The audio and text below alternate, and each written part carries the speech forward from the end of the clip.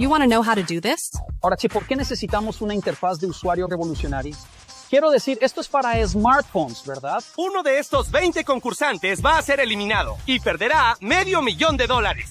Whether you're a content creator looking to expand your reach by uploading videos in multiple languages, a marketer trying to localize promotional content, or an educator aiming to sell your courses, this video is for you.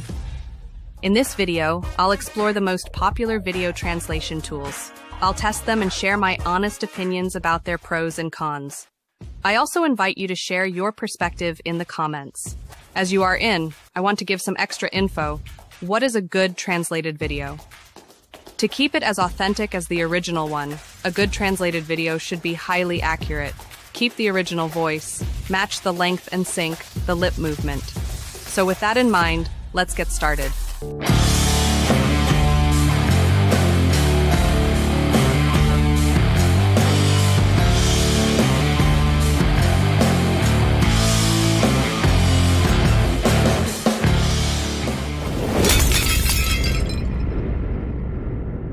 rounds we have include user experience, interface and ease of use, input, supported file types, video size and video duration, language, variety of languages and dialects, speed, processing times, accuracy, translation accuracy and speaker detection accuracy, voice clone, voice generation options and quality on maintaining the rich emotion and tone, lip syncing, quality of sync, lip and fascia movement with audio. First, let's explore the interface. It's a delicate balance for designers to keep the simplicity while offering comprehensive functions. We can take a look at Heygen. They use a very simple interface. You could upload the video or paste the URL. Select the language and speaker. They offer a lot more complex options, like include captions, translate audio only, and if we click Translate, it will start processing and give the output. One downside is that it doesn't allow for previewing or editing. This approach may not be ideal for users with high translation demands, such as marketers and business owners. Now let's contrast that with Vozo AI. Vozo has a lot of tools here, but let's focus on Translate and Dub. You could see the similar upload interface, upload or paste the URL, after choosing the speaker, language, it also provides context input, which allows more customized instruction. Once the translation is complete, Vozo AI directs you to a page where you can see the original text, the translated text, a timeline of the voiceovers, and all the relevant details in an editable interface similar to a video editing tool. This means you can easily make changes to any part of the video. Let's see Akool. They also try to simplify the entrance. It's similar to Vozo, and we can select more complex options like lip sync at this step 11. Let's click Start. Akool also provides a editable interface, but the editing interface only display translated script. To summarize, all these three tools offer a simple interface. Heygen delivers output directly, while Vozo and Akool offer flexibility and editing features. From my perspective, the addition interface of Vozo is more user-friendly, so let's move on to input.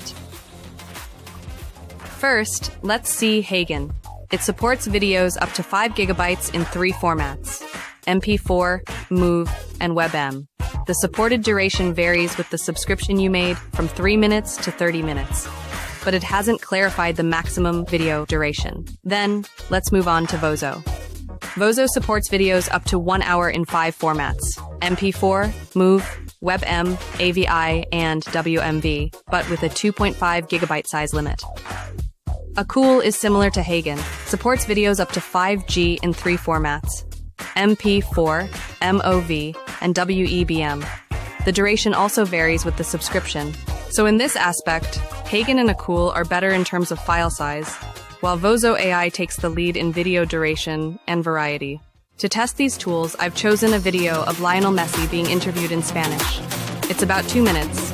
Let's watch a few seconds of it. ¿Cuánto tiempo esperamos esta imagen? Un país entero festejando esto. Una locura, la verdad que sí, que, que se hizo desear, pero, pero es lo más lindo que hay. Eh, mira lo que Es hermosa, es hermosa. Dale un beso para la gente de Argentina que la está viendo y ¿Sabes cuánto le besa? Es, es impresionante, la verdad que. I'll upload this video to each tool and analyze the results one by one. So next we have speed, which is how long it takes to render the translation. Heygen, 6 minutes. Akool, 13 minutes. Vozo AI, 3.5 minutes. Now let's look at the realism of this video in each tool. how long have we waited for this image? An entire country celebrating this. It's crazy, really, it is. It took a while to get here, but look at how beautiful it is. Look at how it is. It's beautiful. It's beautiful. A kiss for the people of Argentina who are watching it. It's absolutely amazing. I really wanted it so much. I was just saying there. I once told him that God was going to gift it to me, I was sure, and I had a feeling that that it was this that was happening. We suffered a lot, but we made it. Heygen did a great job cloning the voices in the video. Messi's voice sounds like his own, which is impressive. If we look close at lip movement, it's also realistic and well synchronized. But in some parts, the translated words are repetitive, and some filler words are noticeably missing, making the video not as natural as the original one. How long have we waited for this image? The whole country is celebrating this one. It's crazy. Honestly, yes, it was long awaited, but it's the most beautiful thing there is. Look at it, it's gorgeous. A kiss for the people of Argentina who are watching. It's, it's impressive. Honestly, I wanted it so much. Yeah.